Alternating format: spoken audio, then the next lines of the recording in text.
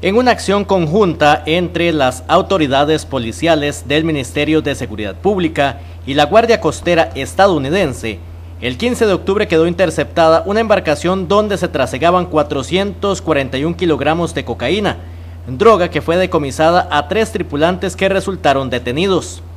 Todo se dio gracias al patrullaje conjunto entre el gobierno de Estados Unidos y Costa Rica siendo que las autoridades costarricenses del Servicio Nacional de Guardacostas, la Policía de Control de Drogas y la Policía de Fronteras de Seguridad Pública participaron en este operativo que propinó un golpe al narcotráfico. Se trató de una lancha de bajo perfil que fue detectada por los estadounidenses, hecho que tuvo lugar en aguas del Pacífico Sur, a 100 millas náuticas al suroeste de Matapalo.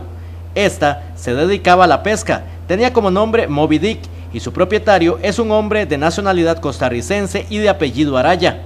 En tanto, la tripulación detenida quedó identificada como de apellidos Obando, costarricense, de 32 años, pasado por abusos sexuales contra mayores de edad. Beita, también costarricense, de 24 años, sin antecedentes. Castrillo, otro tico de 45 años, sin antecedentes. Así como Reyes, de 36 años y sin antecedentes. Este caso quedó bajo investigación.